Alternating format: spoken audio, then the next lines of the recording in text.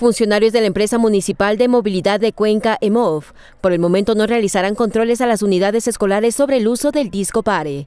Esto por la falta de proveedores de este sistema, que busca ser implementado en el cantón. Nosotros estamos ya haciendo controles de opacidad, estamos haciendo controles de no exceso de pasajeros, de que todos estén con el, cinturón de seguridad, de que las llantas estén en buen estado, los aspectos mecánicos del vehículo, pero por supuesto que en el tema del brazo mecánico esperamos que hayan personas que puedan colocar este brazo mecánico, que primero hayan proveedores. Aseguran que al momento en la ciudad no existe el personal suficiente para la instalación de estos discos para las diferentes unidades escolares. No hay repuestos aquí, hay que traerles a técnicos de Quito, pagándole los viáticos, pagándole los pasajes hacia la ciudad de Cuenca para colocar estos dispositivos. Es como el taxímetro. Nosotros, ¿por qué pudimos hacer que el taxímetro sea de uso obligatorio en el Cantón Cuenca?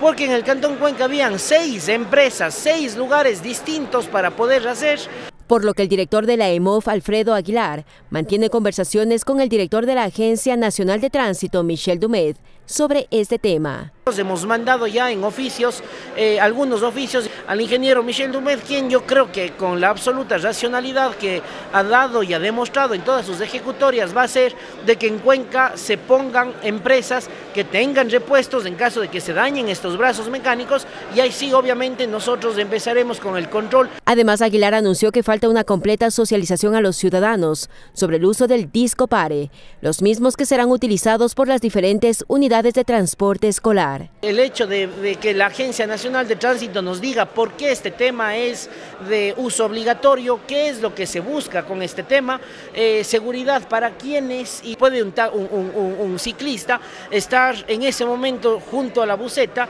y si es que yo no me percato bien y abro el brazo mecánico puedo estarle provocando un accidente al ciclista o al peatón que esté eh, justamente por ese costado de la buceta. Por eso es que deben hacerse una socialización. Además solicitarán al titular de la Nacional de Tránsito información sobre la obligatoriedad del uso de este sistema y sobre la seguridad que brindará la misma.